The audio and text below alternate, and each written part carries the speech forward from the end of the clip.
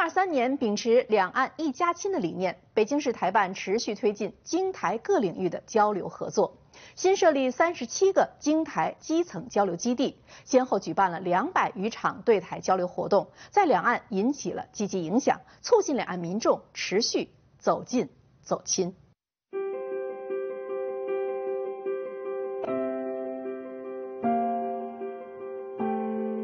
北京的深冬，虽寒风飒飒，却和煦着时光里的深情。台胞丁文运结束了一天的工作后，匆匆赶回家里，因为是先生的生日。这对两岸夫妻牵手的第十九年，他们更加理解对方，并深爱对方。他眼里的他，文静又彬彬有礼。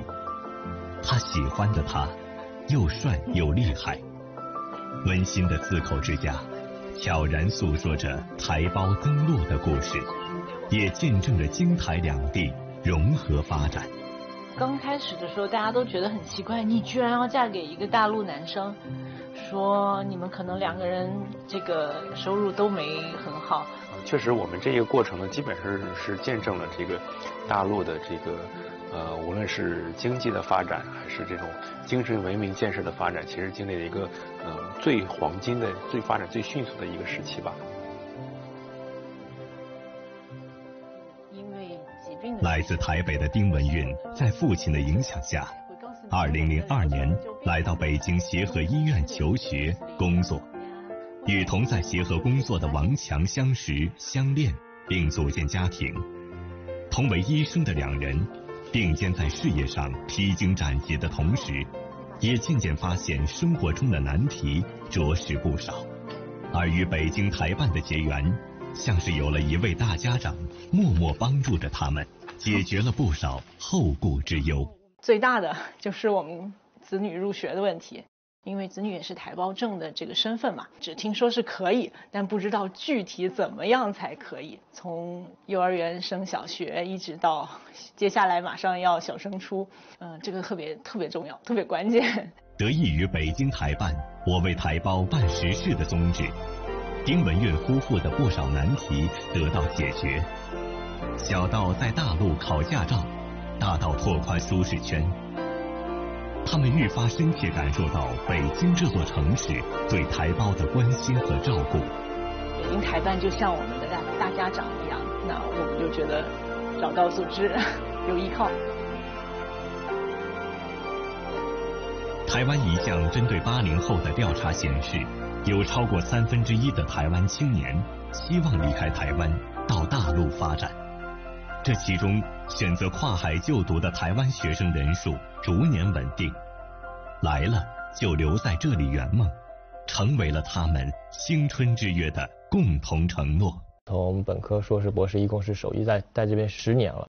台湾青年徐俊义，二零一三年开始在首都医科大学就读临床医学系，在北京这座文化和科技创新中心，他不仅学习了前沿的知识。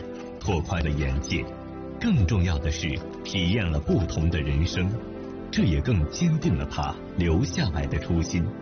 他给我举例子说，有很多台湾的老师在高校任职，他们是有编制的，职称评定方面呢，他也告诉我是不受影响的。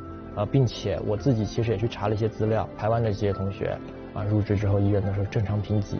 慢慢的发现，其实金台办在这方面做的啊其实力度是很大的，所以是也给了我底气，在北京的底气吧。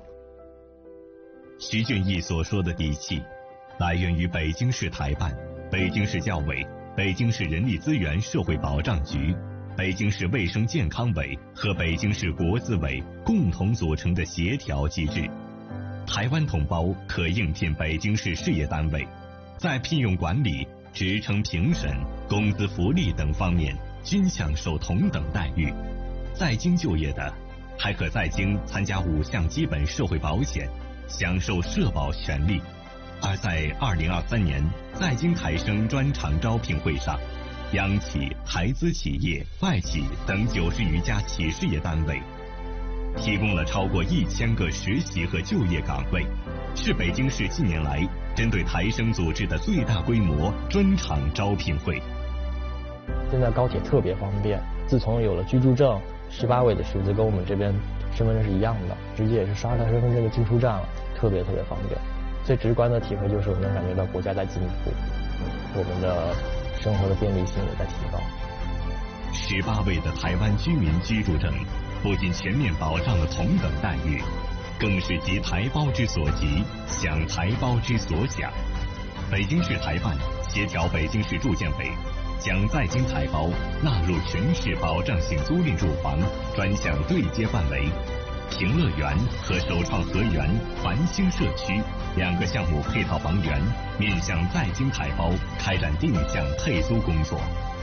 正是一次次暖心的送服务，让像徐俊义一样的众多台湾同胞们免去了后顾之忧。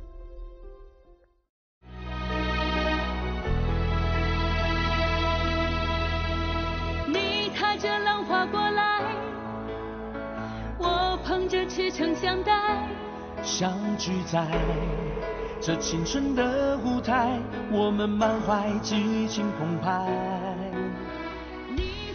二零二三两岸青年峰会，吸引着各界台青纷至沓来。